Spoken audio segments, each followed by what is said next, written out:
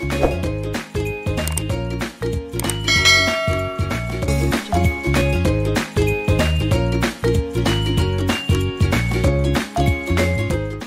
વિદ્યાર્થી મિત્રો, જય સ્વામિનારાયણ. આજે આપણે સ્વાધ્યાયનો આઠમા દાખલાનો અભ્યાસ કરીશું. આપણે બે મેથડ કાલે શીખી ગયા. એક મેથડનું નામ હતું સાદી સરેરાશ નફાની પદ્ધતિ. બીજી મેથડનું નામ હતું ભારિત સરેરાશ નફાની પદ્ધતિ.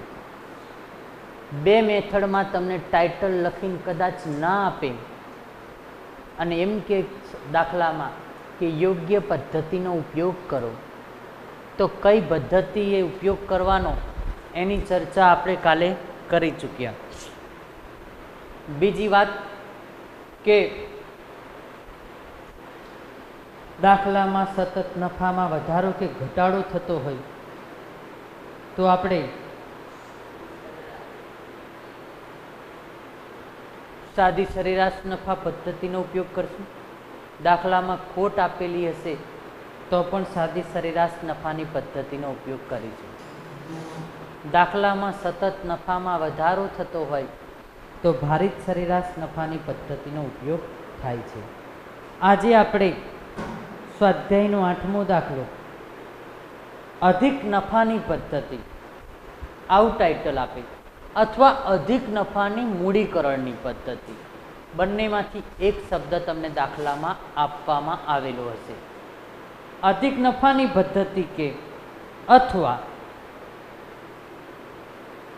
અધિક નફાની મૂડીકરણની પદ્ધતિ વિશે કહેવામાં તમને આવશે. તો એની અંદર તમારે છ સ્ટેપનો ઉપયોગ કરવાનો હોય તો હું અહીં પણ પહેલાં છ સ્ટેપ લખી દઉં છું. પછી આપણે દાખલાની શરૂઆત કરશું. પહેલું સ્ટેપ છે ધંધામાં રોકાયેલી મૂડી.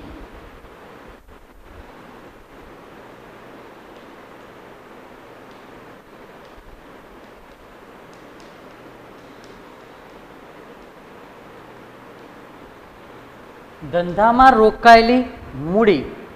તો એનું સૂત્ર થશે કુલ મિલકત માઇનસ કુલ દેવા.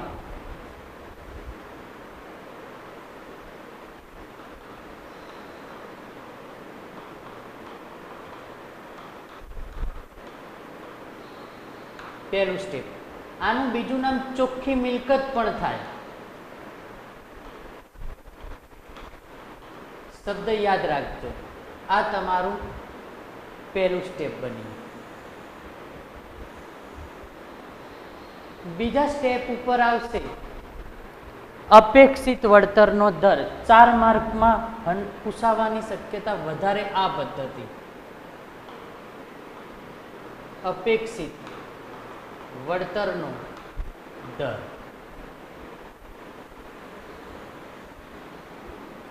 ત્રીજું સ્ટેપ તમારું આવશે અપેક્ષિત નફો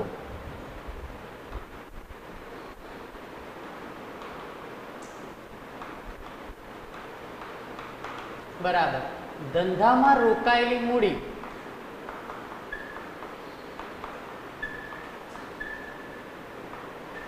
ગુણ્યા અપેક્ષિત વળતરનો દર.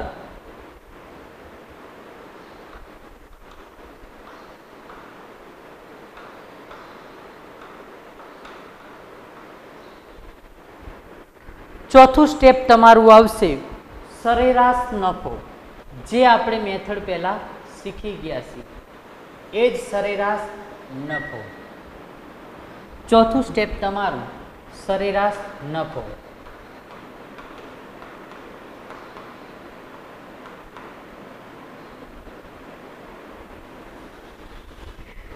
પાંચમું સ્ટેપ અધિક નફો.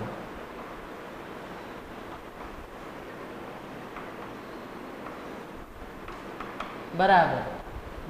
સરેરાશ નફો માઇનસ.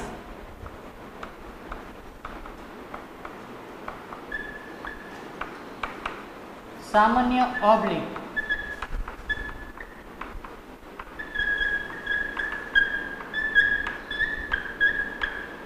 નફો. અને છેલ્લું સ્ટેપ તમારું આવશે. પાઘડી.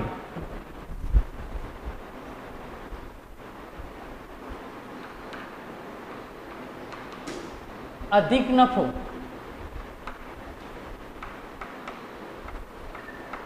ગુણ્યા ખરીદીના વર્ષ.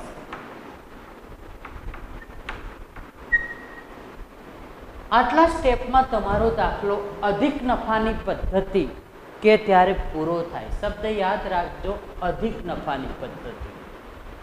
પહેલી પદ્ધતિ સાદી સરેરાશ, બીજી પદ્ધતિ ભારિત સરેરાશ અને ત્રીજી પદ્ધતિ અધિક નફાની પદ્ધતિ અથવા અધિક નફાની મૂડીકરણની પદ્ધતિ. આટલા સ્ટેપ યાદ રાખશો એટલે તમને દાખલો આવડશે. બીજી એક વાત કરું કે કોકવાર એવું પૂછાઈ જાય કે અધિક નફાની ટૂંકનો જ લખો.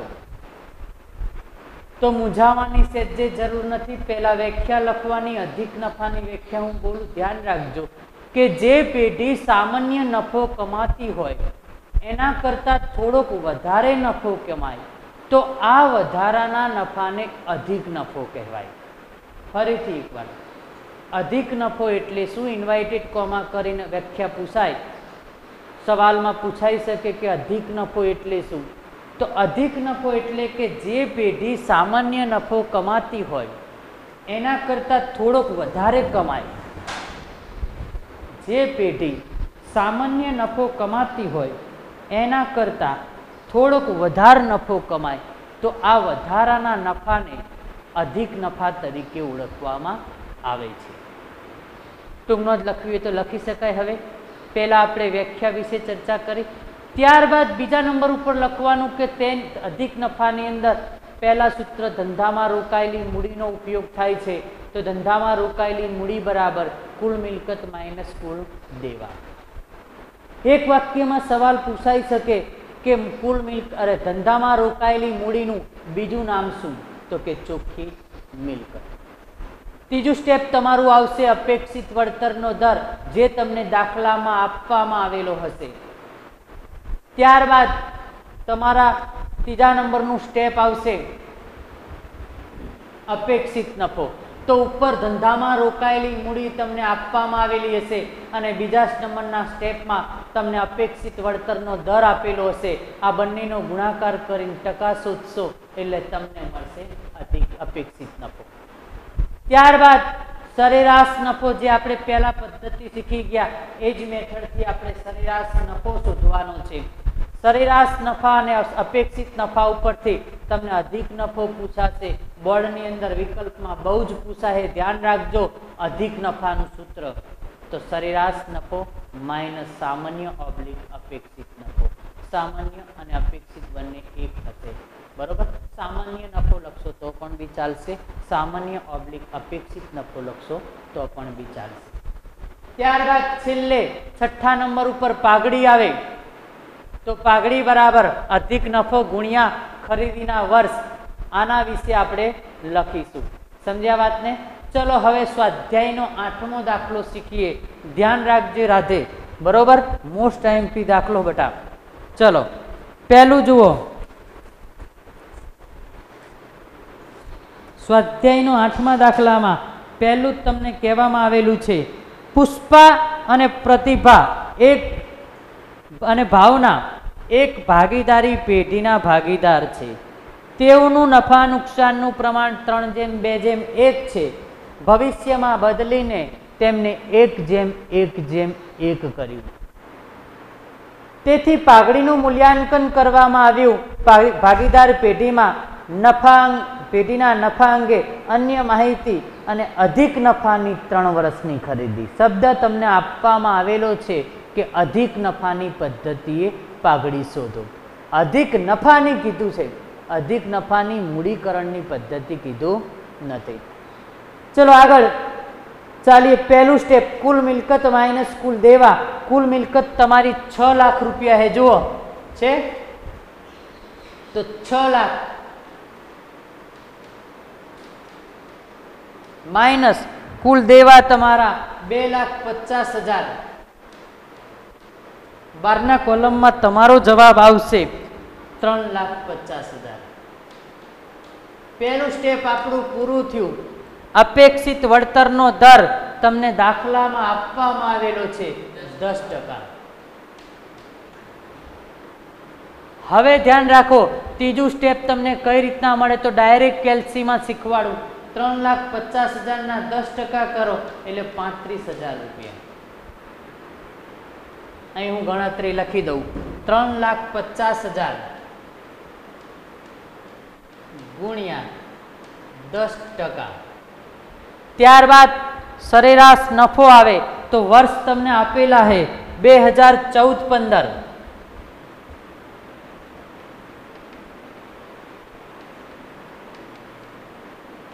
પંદર સોળ અને સોળ સત્તર. નફો બાજુમાં આપેલો છે તમને. નફો એસી હજાર. સિત્તેર હજાર. કેટલા? નેવું હજાર. ત્રણેયનું ટોટલ થશે બે લાખ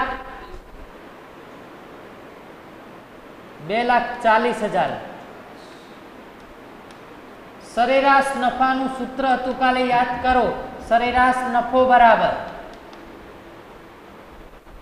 કુલ નફો ભાગ્યા કુલ વર્ષની સંખ્યા.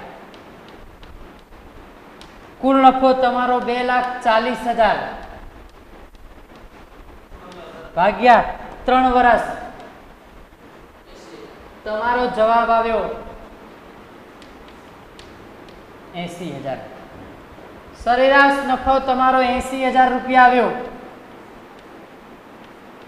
સામાન્ય નફો તમારો પાંત્રીસ હજાર રૂપિયા. તો તમારો જવાબ આવશે પિસ્તાલીસ હજાર. પાઘડી છેલ્લે શોધી લઈએ. તો કે પાઘડી બરાબર પિસ્તાલીસ હજાર ગુણ્યા ખરીદીના વર્ષ. તો ખરીદીના વર્ષ તમારા ત્રણ છે. તો તમારો જવાબ આવ્યો એક લાખ. પાંત્રીસ હજાર. અહીં તમારી આ મેથડ અધિક નફાની પદ્ધતિ પૂર્ણ થઈ. ચલો, ખબર પડી ગઈ. સૌથી પહેલા ધંધામાં રોકાયેલી મૂડી શોધવાની, ત્યારબાદ અપેક્ષિત વળતરનો દર શોધવાનો, ત્યારબાદ અપેક્ષિત નફો શોધવાનો, ત્યારબાદ સરેરાશ નફો શોધવાનો, ત્યારબાદ અધિક નફો શોધવાનો અને ત્યારબાદ પાઘડી શોધવાની. આ છ સ્ટેપ પૂરા કરો, એટલે તમારો ચાર માર્કનો દાખલો એકદમ કમ્પ્લીટ થઈ જાય. તમારી ત્રીજી મેથડ આ રહી કહેવાય. ચલો કમ્પ્લીટ મીના અને મંજુની એક પેટીની મૂડી ચાર લાખ. અપેક્ષિત વળતરનો દર દસ ટકા. છેલ્લા ત્રણ વર્ષનો નફો એક લાખ વીસ હજાર, એક લાખ દસ હજાર અને એક લાખ. ભારિત સરેરાશ નફાની પદ્ધતિ ધ્યાન રાખજો. અને અધિક નફાની બે ગણી આ જ મેથડ આવી ચોખ્ખી મિલકત તમને ચાર લાખ આપી દીધેલી છે.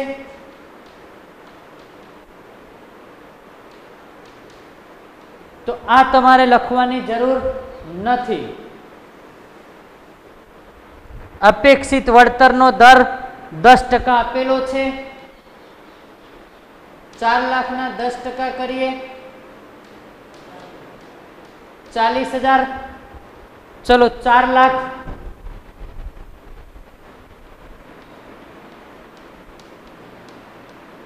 ગુણ્યા દસ ટકા. ચલો, દાખલામાં કહેવામાં આવેલું છે, ભારિત સરેરાશ નફાની પદ્ધતિ. તો આપણે એને ભારિત સરેરાશ નફાની પદ્ધતિએ ગણશું. વર્ષ આપેલા નથી, એટલે હું વર્ષ લાઈનમાં લખી દઉં. એક, બે, ત્રણ. નફો એક લાખ વીસ હજાર, એક લાખ દસ હજાર અને એક લાખ. ભાર આપીશું બાજુમાં? એક, બે ને ત્રણ. ટોટલ છ થાય. કુલ ભારિત નફો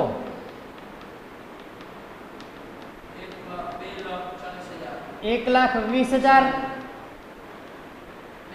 બે લાખ વીસ હજાર. અને ત્રણ લાખ. ટોટલ તમારું થશે છ લાખ ચાલીસ હજાર. ભારિત સરેરાશ નફો બરાબર. ડાયરેક્ટ લખી દઉં છ લાખ ચાલીસ હજાર. ભાગ્યા છ. છ લાખ ચાલીસ હજાર ભાગ્યા છ કરો. જવાબ આવે એક લાખ છ હજાર છસો ને સડસઠ. એક લાખ છ હજાર છસો ને સડસઠ. એમાંથી ચાલીસ હજાર બાદ કરો. એટલે તમને કયો નફો મળશે? અધિક નફો. એક લાખ છ હજાર છસો સડસઠ. માઇનસ ચાલીસ હજાર. તમારો જવાબ આવશે છ લાખ અરે છાસઠ હજાર છસો ને સડસઠ. પાઘડી શોધીએ. મૂડીકરણ શબ્દ આપ્યો નથી. માટે આ સૂત્રનો ઉપયોગ થશે નહીં. આ શબ્દનો ઉપયોગ ક્યારે થાય? અધિક મૂડીકરણ બંને શબ્દ આપે તો. ચલો. છાસઠ હજાર છસો ને સડસઠ. ગુણ્યા ખરીદીના વર્ષ. બે તમારી પાઘડી આવી એક લાખ. તેત્રીસ હજાર. ત્રણસો ને ચોત્રીસ લો. આ તમારી પાઘડી આવી જો ધ્યાન રાખો સેમ સ્ટેપ કોઈ જ ફેરફાર નહીં. મેથડનો છેલ્લો દાખલો. કાલે છેલ્લી મેથડ ચેપ્ટરની પૂર્ણાવતી થશે. ચલો રોકાયેલી મૂડી. નવ લાખ આપવામાં આવેલી છે. અપેક્ષિત વળતરનો દર. તો કે બાર ટકા. નવ લાખના બાર ટકા કરો. એક લાખ આઠ હજાર. ત્રણ સ્ટેપ તો એમની જ આવી જાય છે. જુઓ.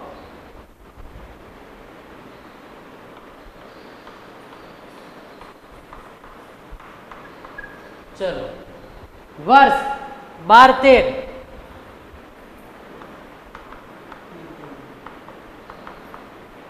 તેર ચૌદ.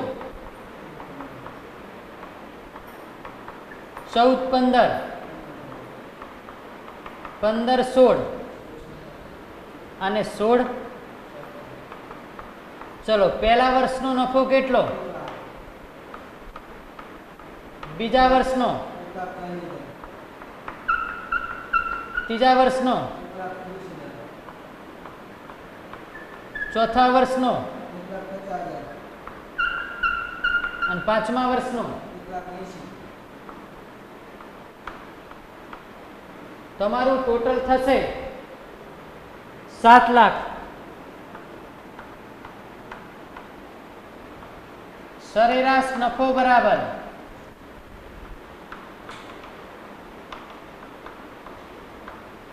કુલ નફો ભાગ્યા. કુલ વર્ષની સંખ્યા. સરેરાશ નફો બરાબર સાત લાખ. ભાગ્યા વર્ષ એક, બે, ત્રણ, ચાર, પાંચ. આન્સર તમારો આવશે. એક લાખ ચાલીસ હજાર.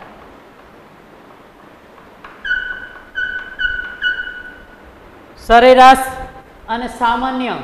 તો સરેરાશ એક લાખ ચાલીસ હજાર. માઇનસ એક લાખ આઠ હજાર. બારના કોલમમાં આવશે બત્રીસ હજાર. હવે ઉપર ટાઇટલમાં વાંચીએ. રકમ એકવાર ફરીથી. પ્રભા અને પ્રભુ ભાગીદારી પેઢીની પાઘડીની કિંમત અધિક નફાના મૂડીકરણની પદ્ધતિ. અધિક નફાના મૂડીકરણની પદ્ધતિ કે? એટલે છઠ્ઠા નંબરનું સૂત્ર. સેજ બદલાઈ જાય. જો એમાં ખરીદીના વર્ષ નથી આપવામાં આવતા, તો અહીં કણ પાઘડી બરાબર. અધિક નફો ગુણ્યા સો. ભાગ્યા અપેક્ષિત. વળતરનો દર. અધિક નફો તમારો બત્રીસ હજાર રૂપિયા. ગુણ્યા સો. અપેક્ષિત વળતરનો દર. બાર ટકા. તો ભાગ્યા બાર. તો તમારી પાઘડી આવશે બે લાખ છાસઠ હજાર છસો ને સડસઠ.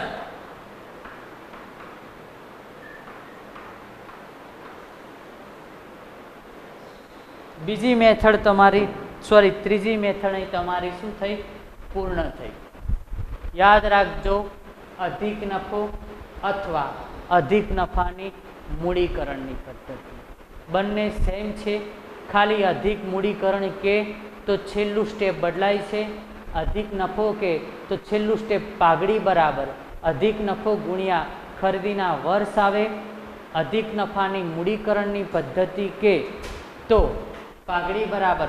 અધિક નફો ગુણ્યા સો ભાગ્યા અપેક્ષિત વળતરનો દર આવશે. કમ્પ્લેટ